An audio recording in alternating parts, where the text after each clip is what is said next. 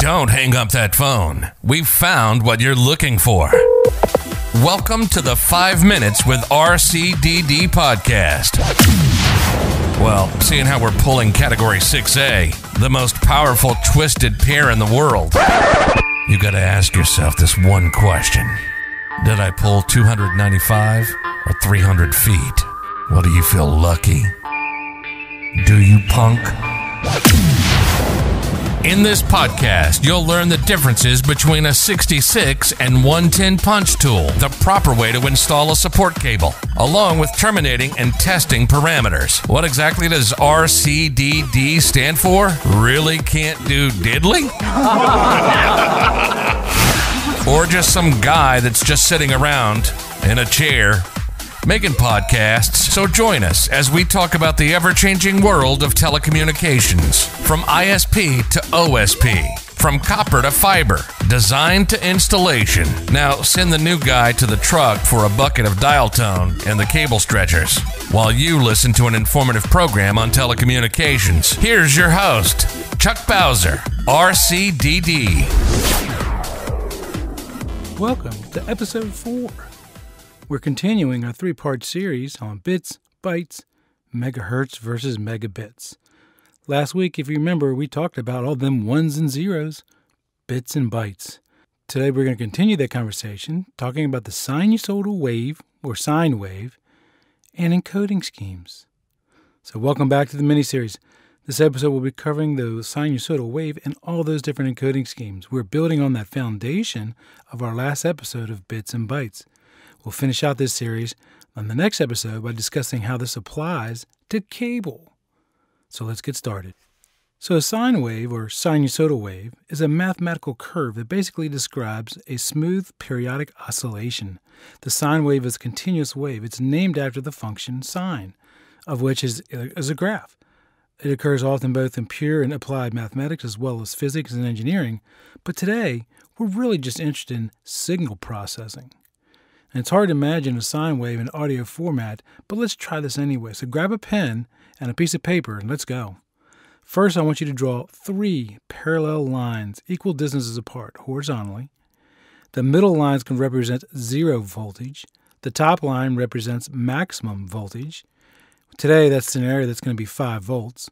And the bottom line will be negative 5 volts. Now we're going to draw a waveform, kind of like the letter S, but laying on its side. What you're going to do is you're going to start at the most left point on that centered line. By the way, that's zero degrees. And you're going to draw up and to the right at the same time until you reach that top line. Once you reach that top line, that's 90 degrees, and then you're going to turn while still moving towards the right of the graph. You're going to turn and start heading down. When you go down, when you cross that middle line, that middle line is zero voltage and it's 180 degrees. You're going to continue on until you reach the bottom line. Remember, that's negative 5 voltage. When you hit that bottom line, that's 270 degrees. Once you touch that bottom line, you're then going to change the direction and head up again until you touch that middle line. At that point, that's 360 degrees. So if you were to take that S that you just kind of made and flipped it back over itself, it would make a circle. That's where this 360 degrees comes from. One complete cycle to maximum positive voltage down to the negative voltage and back to zero is one cycle. The distance between the beginning of one cycle and the beginning of the next cycle is called a wavelength. The time at which it takes that complete that one cycle is known as a period.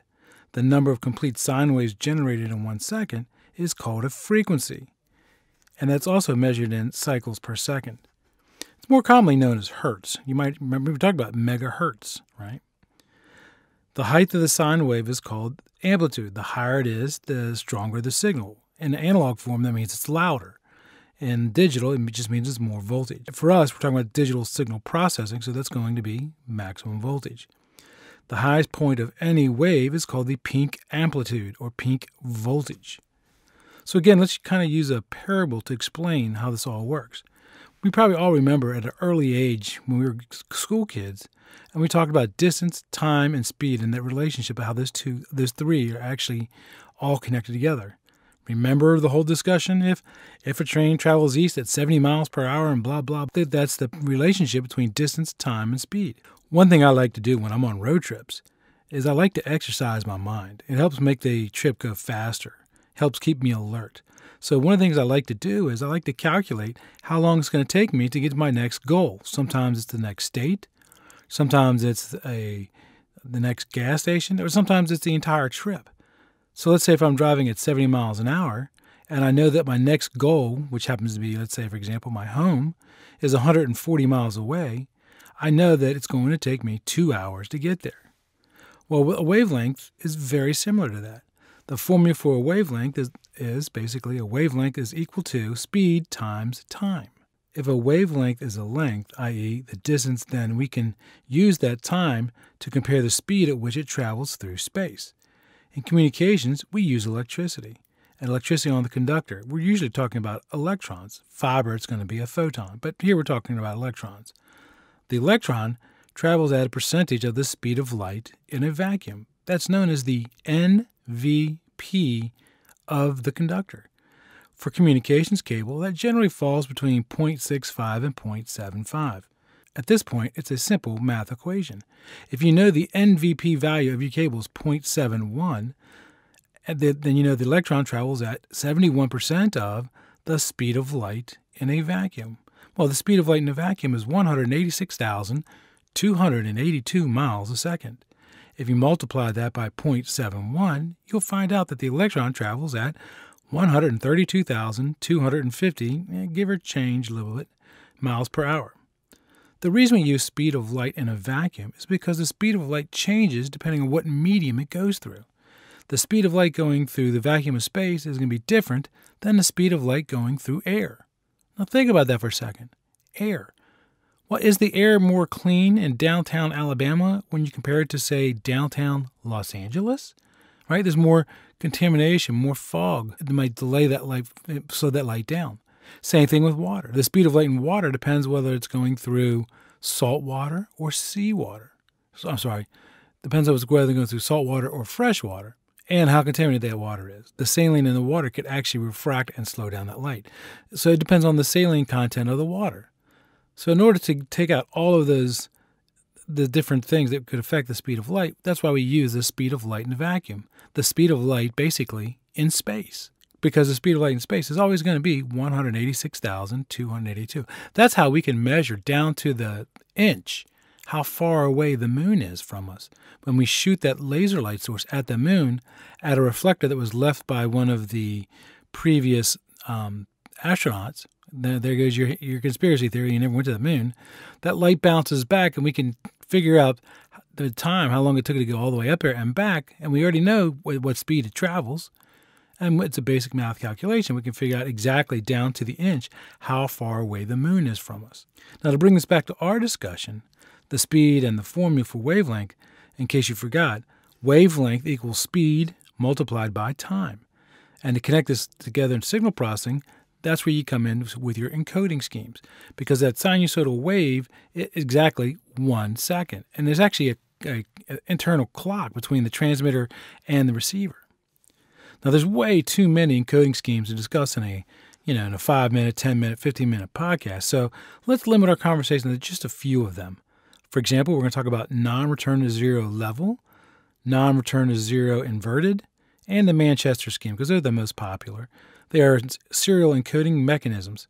Each one of those has different characteristics that makes it useful in different applications. There's also unipolar and bipolar versions of many of these types of encoding schemes. A unipolar has a transition between zero, i.e., the center line of our drawing, and the maximum voltage, which is the top line. A bipolar system has a transition between positive and the maximum negative. So it goes from the very top line through the middle line down to the bottom line. And any method can employ a bipolar encoding scheme. So non returner zero or NRZL, L standing for level, every time the voltage is at zero volts, that is considered a zero. Because remember, everything's a zero or a one. When the, when the voltage rises and it gets to the maximum voltage, then the receiver considers that a one. Now, as it turns out, digital signal is not absolute, meaning, depending on the kind of transistor technology that's being used, it's going to use a range to determine whether it's a 0 or a 1. For example, it'll consider a 0 anything from about 0 to about 0.5 volts. It'll consider a 1 anytime that voltage gets up between 3.5 to 5 volts. Now, those two bands are the low end and the high end, and the area in between the low end and the high end is considered an undefined area. So, going back to the sine wave, when you drew that line, went to zero, the middle line going to the top line to the maximum voltage, that would be a 1. And then when it, maximum voltage goes back down to zero, that would be a zero voltage, that would be a zero. Now remember, if it does one, one cycle or one hertz, that's basically going to be two bits. Different encoding schemes allows us to put different numbers of bits on those sine waves. Now let's talk about the NRZI, the non-return to zero invert. The non-return zero invert is an example of a differential encoding scheme. The encoding scheme is different from non-return zero level in that the zero is not determined by the voltage level, rather it's determined by the change of the voltage. So when it changes from zero to the maximum, it's not the voltage, it's the change between these two that tells the receiver it's either a 1 or a 0. So it's dependent on the bit. If you have two bits in a row that match, then that, that, there's not going to be any change, and that's how I know that you have two zeros in a row or two ones in a sequence.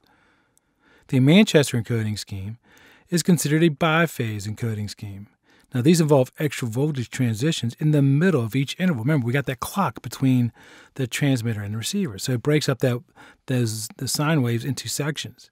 So in between each one of those sections, in the middle of that interval, it's either going to be increased from zero to up or from from the maximum voltage back down to zero. Depending on which way it is, it's considered either a zero or a one. Now, as I said, there's many different encoding schemes, and I've only highlighted just a few of them. There is a great video that talks about encoding schemes and which shows it visually. And I do recommend that you go watch that video because it kind of it's kind of hard to really explain sinusoidal wave in a podcast format. The URL for that website is www.bit.ly, bit.ly forward slash the number five MWAR encode. Okay, five minutes with a RCDD. Get it? So again, it's www.bit.ly forward slash the number five MWAR encode. The more ones and zeros that we can put in that one cycle of that sine wave, the more information we can put down that cable. This is why we're still using copper cable after 35 years. When I first got in this industry, actually 38, I forgot how many years I was working in this industry there for a second. And they, when I first got in industry, they always said that copper cabling was a dying technology. Well, encoding schemes, along with changing the physical characteristics of the cable to handle those higher frequencies, keeps us keeps copper the best choice for doing for both voice and data cabling. So now join us next week as we take this concept along with the bits and bytes and we're going to couple those two together and explain how does that actually apply to cable. I'm also working on some additional concepts. I have upcoming episodes on project documentation, testing, and fire stopping. It's been a busy month between launching this new podcast and working on the homestead and creating content for that as well especially when you pile on the fact that Chuck has a full time job. And I spend I do this stuff in the nights after my full time job is done and working on weekends to create this stuff. As a reminder, we're coming up very close on the closing date for the applications to the mentor program. The, the closing date is September 30th. After that point, we will no longer accept applications to the mentor pro, mentorship program. The winner will be notified by email on the close of business on October 7th, and again, just to remind you, this is a free 12 month mentoring period where we help you come up with career goals and help you achieve those goals. Now, you're going to do 90% of the work. We're just mentoring you to get you there.